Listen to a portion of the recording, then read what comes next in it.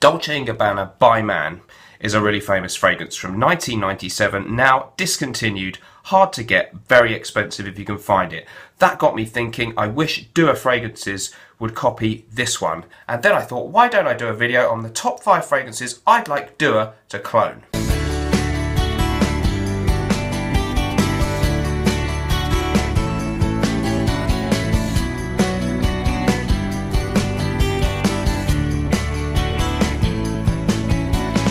I don't need green Irish tweed.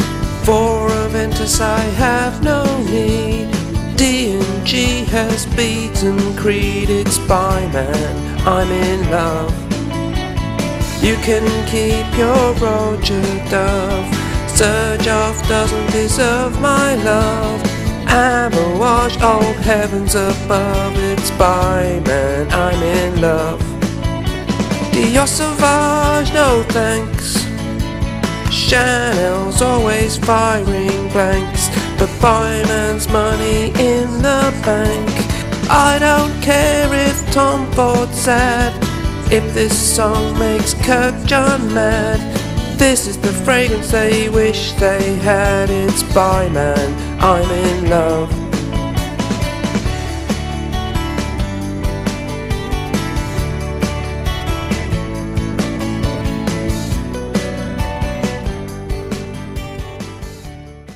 Okay, so today we're going to be talking about my top five fragrances I would like Dua fragrances to clone. And uh, one of them they already did, Bois de Portugal by Creed. They do a lot of uh, clones of niche houses where they uh, give you a 30ml bottle, usually around about the $45 mark. I know not everyone thinks that's a great deal, but I have to say the ones they've sent me, the clones are very good. They're a little bit better than the cheapo ones that you can buy are sort of, you know, the Club de Intense Man type stuff. There is a noticeable difference to me in quality of the smell and closeness. The original Royal Portugal is their take on this one. Very, very good copy. It's not identical, but it's very, very close. It's just maybe a little bit more green and sharp, but it's an excellent copy. I have uh, uh, tried Lalique um, Pour Homme Eau de Parfum, which is supposed to smell like Bois de Portugal. This is way better to me because that one doesn't quite have all the magic of de Portugal. This one very very close, great performance as does the original, and uh, I really like that one. So that one's really impressed me. As have a couple of their other clones that they've sent me. They've sent me quite a few fragrances. Their Silver Mountain Water one, Water of Arabia, is excellent. Just a little bit more citrusy, I think, and with less of the inky tea feel than the original Silver Mountain Water, but very, very close to it.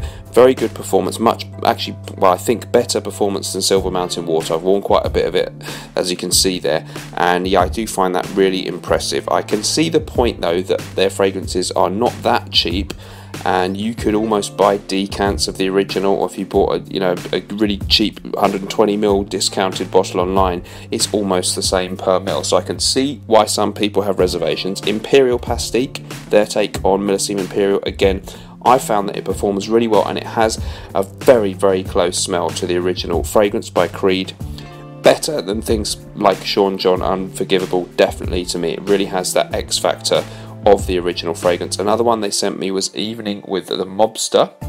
Supposed to be like Roja Dove's Creation E, otherwise known as Enigma. Not hugely familiar, have tried that once or twice.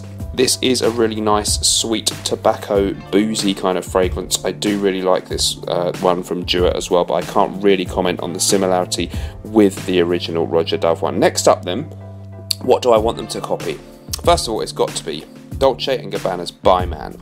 First released in 1997, it's sort of a barbershop scent. It's really, really famous. Didn't last very long on the shelves. Discontinued. Very hard to find out. Very expensive. This is where people like Dua come into their own.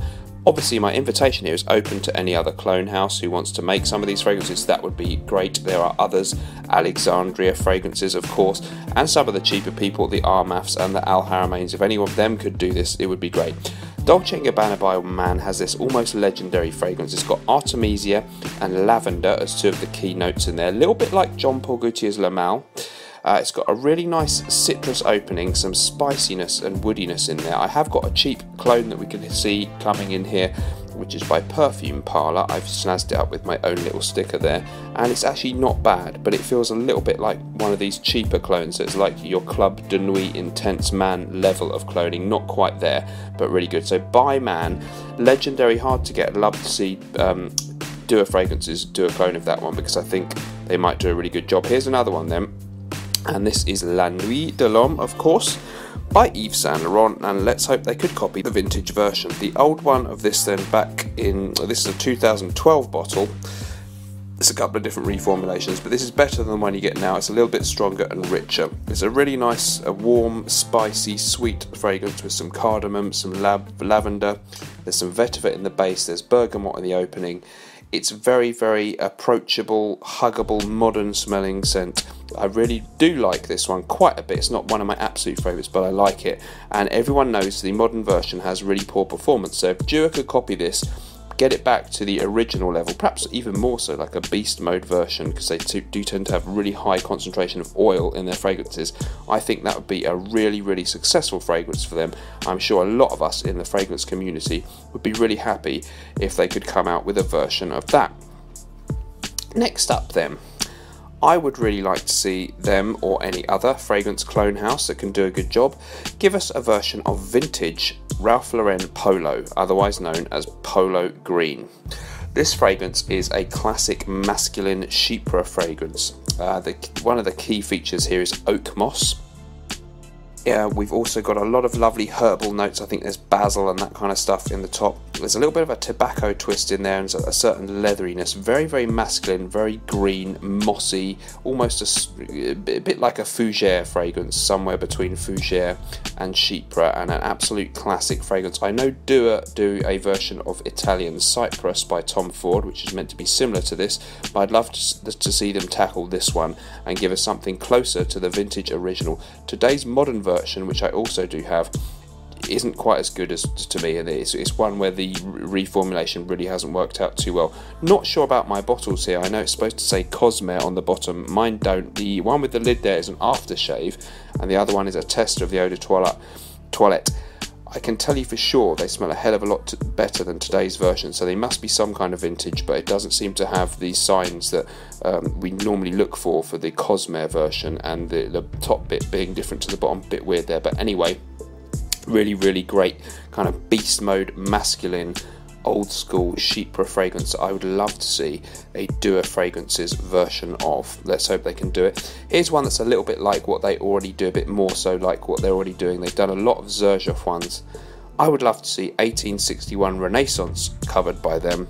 Uh, I really love this fragrance. It's a classic citrus aromatic fragrance. Very, very realistic lemon and lime and bergamot and orange notes. A little bit of mint in there and some lovely woodiness in the base. Absolutely beautiful citrus, fresh fragrance, kind of modern smelling. It's not an old school cologne or anything. It's, it's modern. It's beautiful. I know they've done a great version apparently of the uh, Xerjoff Neo so it'd be interesting to see what they could do with 1861 Renaissance. I find this one had to have reasonably good performance, but I know some people lament that it's not as good as it could be. So if maybe Dua Fragrances could have a go at this one and maybe give us a, a beast mode version of this one, uh, I think that would be really interesting. I'd be surprised if this wasn't if this one wasn't already in the pipeline from them. I bet they're thinking about it, and I, it would be very interesting if they did a version of this one. I'd also love to try their version of Neo, I've seen a couple of good reviews online of that one. The next one that I'd be really keen to see a Dua Fragrances um, remake of would be the discontinued Dolce & Gabbana Pour Homme. Sorry to give you two Dolce & Gabbana ones, but this would be great to see and or rather to smell. I guess where Dua fragrances really come into their own is stuff that you just can't get at, or with great difficulty only anymore. So their prices are not super cheap. It's not like a no-brainer grabbing a 20 pound cheap clone. They need to smell really good or they need to be well and they need to be maybe bringing us something that we can't easily get okay so things like discontinued designer fragrances are where they really come into their own i think as well as extremely expensive niche stuff where even though they're not cheap they're still giving us better value Dolce & Gabbana Pour Homme, the classic designer scent from 1994, the old made in Italy version is widely regarded as much better than the modern one. It's got some great citrus in the opening, got a little bit of lavender, it's a kind of an aromatic fougere but a modern twist, or at least it was modern at the time. Some herbal notes, I think there's some sage in there, and there's a little bit of a twist of a fresh tobacco essence in this one as well. It would be really interesting if Dua Fragrances could give us a beast mode fragrance, uh, could give us a beast mode rendition of what was already a reasonable performer, but they could make it maybe even stronger and bring it back to its former glory, maybe. And I would love to smell that one. So let's see what uh, Dua Fragrances come up with next. time. they're always coming out with new stuff. I know not everyone really likes this house, and I can completely see the reservations. I'm not a happy clapper or in cahoots with them. I can see that they're not super cheap they've sent me quite a few fragrances and some of the clones I have found to be very good and a little bit better than the cheapo stuff out there. Let me know what you think about the house. Have you tried any of their fragrances? These are some of the ones I'd love to see them give us a remake of. Let's hope they can do it. Now remember, whatever you're doing in life, let's project and I'll see you in the next video. Bye bye.